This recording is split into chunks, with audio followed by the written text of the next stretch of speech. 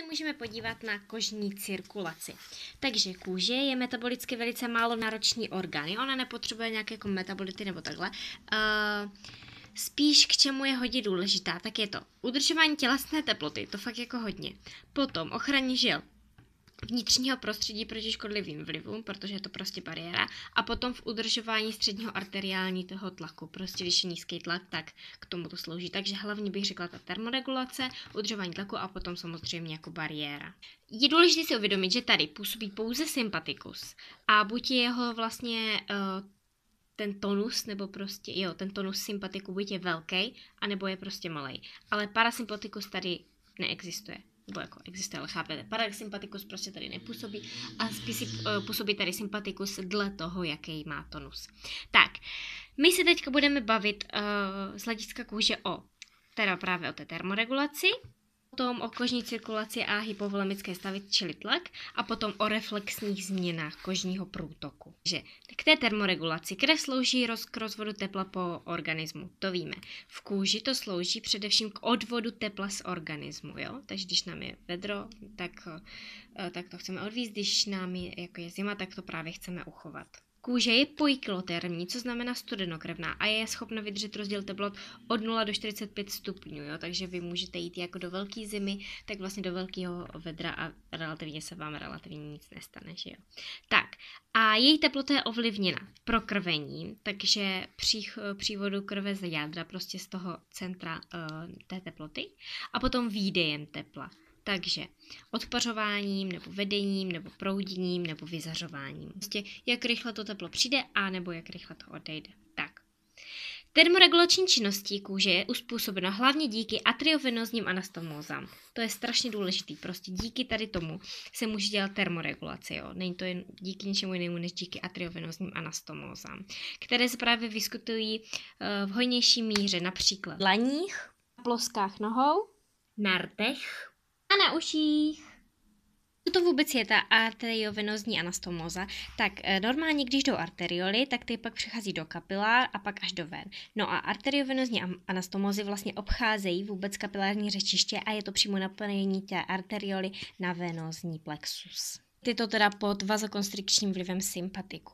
Uh, může za to hypotalamus, protože hypotalamus je centrální termostat a ten to potom řídí. Když se podíváte, tady je to širší, takže v jeden moment může být o dost víc krve právě tady uh, než uh, v kapilárách. Takže v jeden okamžik může být více v kapilárním, uh, takhle, více, více krve v tomto plexu než v kapilárách se nám tedy zvýší teplota v jádře hypotalamu, tak ten vydá rozkaz ke snížení sympatiku a snížení sympatiku nám proto udělá uh, dilataci těch atriovenozních anastomos. Jo. Krev potom teda putuje spíše do toho žilního plexu, že je vlastně dilatovaný, že jo. Takže tam má uh, možnost, aby tam byl větší průtok a když tam je větší průtok, tak je vlastně zvětšení odvod tepla z organismu. V chladu je to potom naopak, tak se to kontrahuje a krev se vrací vlastně do těch kapilárních řečišť a teplo je uchováno pro potřeby organismu. Toto e, vlastně dilatace, kontrakce, tak to je neustále. Náš organismus není schopen nějak jako nastavit to ideálně, ale prostě neustále se to takhle děje. Furt, furt, furt. Když jako vydáme teplo, udělá se dilatace, tak pak jsme ho vydali, tak se zase udělá konstrikce, aby jsme to nevydali moc a prostě se to takhle střídá. Jedno, e, jedné minuty třeba ten průtok strašně kolísa. Tak, Odpověď kožních cév na teplotu je zajištěna třemi mechanismy. Je to teda e, z hypotalamu, protože to je ten centrální termostat. Nebo okolní teplota, ta může přímo ovlivňovat ten tonus té cévy, jestli bude dilatace nebo kontrakce. A nebo máme kožní termoreceptory a ten ovlivňují zase sympatikus. Když se podíváme na akrální neboli periferní oblasti a teplotu, takže když máme nějaký termoneutrální prostředí, tak tam je udržována uh, většinou vazokonstrikce. Když to zahřejeme, takže jo, chceme odvod tepla, takže uděláme vazodilataci a tím, uh, že tam bude víc uh, krve, tak tam bude víc oxygenované krve a ta je červená, že jo? takže proto to máme zčervenání třeba, jo. Proto když je vedro, tak my jsme červení, protože se nám udělají dilatace cév a e, jde tam právě hodně oxygenované krve. Naproti tomu, když se ochladí, tak se udělá vazokonstrikce, není tam tolik krve, takže proto je zbělání, jo. Proto v zimě, když je nám zima, tak nejsme červení. Povrchové žíly reagují na ochlazení kontrakcí.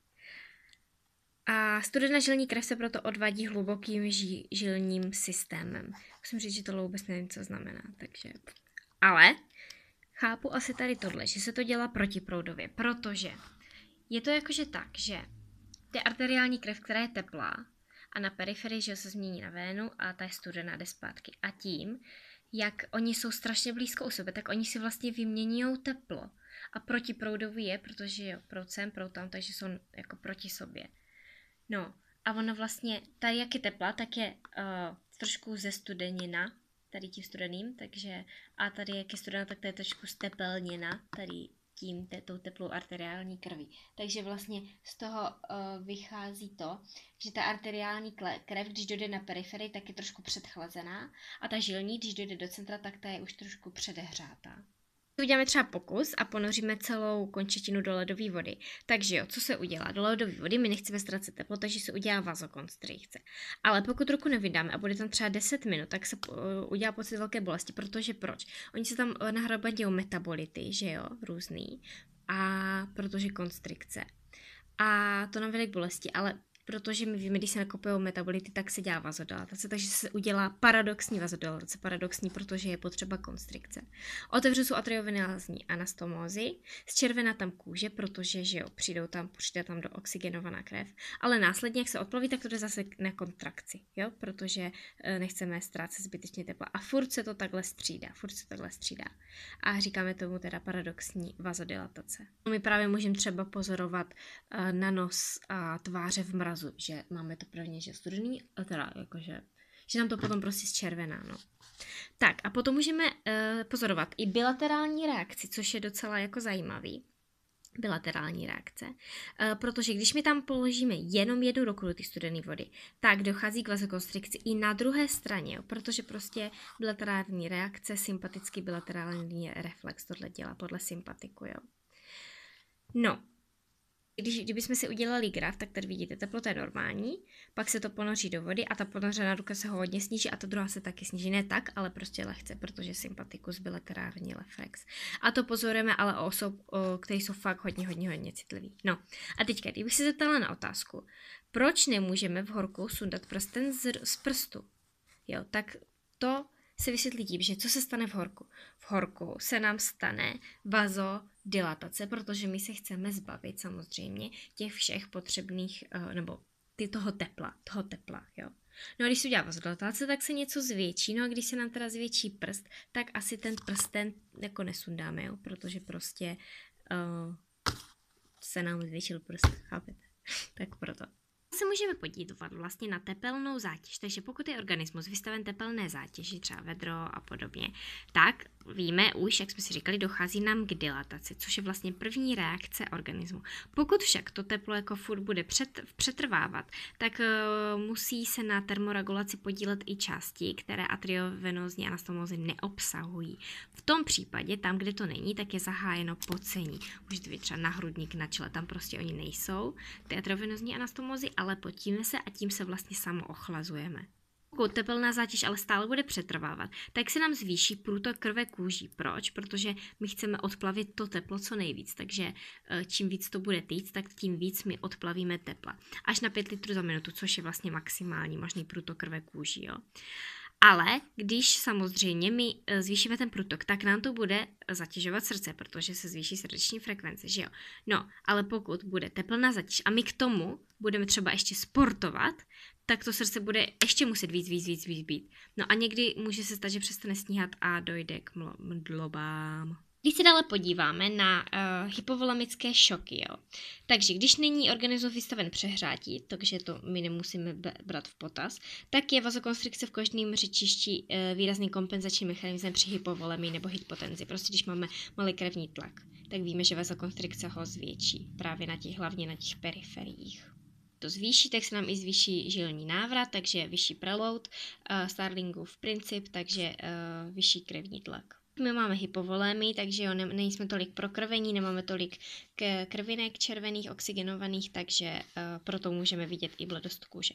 A pokud je mechanismus vazokonstrikce narušen, tak velmi snadno dojde k hypovolemickému šoku nebo hypotenznímu stavu, ke kolapsu. Jo.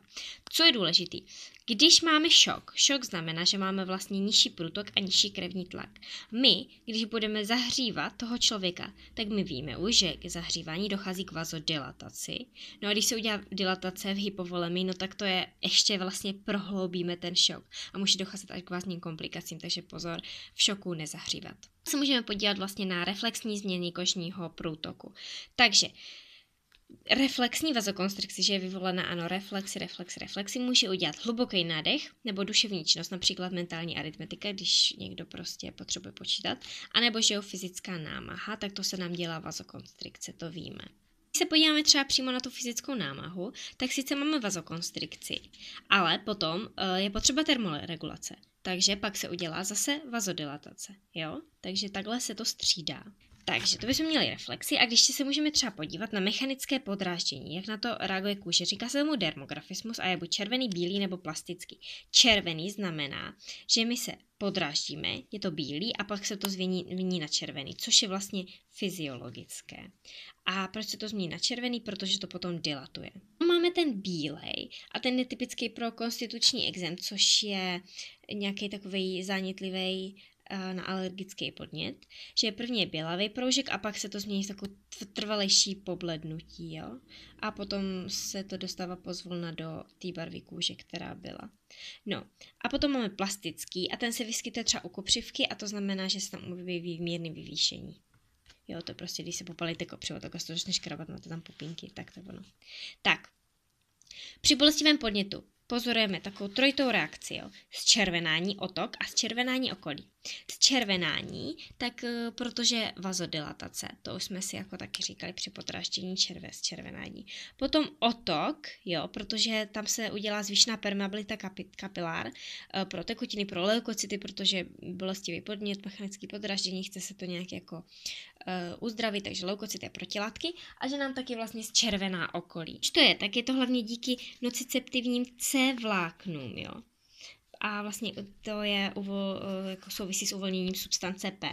A máme zčervenání, tak to je uh, červenání okolí je způsobeno vlivem axonového reflexu, což je, že podraždíme C vlákno, to se převede do míchy a to udělá vlastně signál do nervových zakončení, které vedou vlastně k blížko ležící cévě, kde se vyplavuje právě substance P a do okolí eh, způsobí vlastně vazodilataci, protože víme, že to dělá substance P. Jo, a dělá to prostě proto, aby tam zase mohla to prokrvit a předat eh, nějaký dobrý látky, protilátky a podobně. Si to můžeme pamatovat jako substance P, jako pain, takže když prostě bolestivý podnět, pain, tak je tam substance P a dělá nám vazodilataci. Potom máme ale i humorální regulaci, že a potom pokud máme, že jo, nějaký vazoaktivní látky, jako třeba vazodilatačně histamin, bradykinin, vazokonstriční serotonin, tak podle toho se to udělá.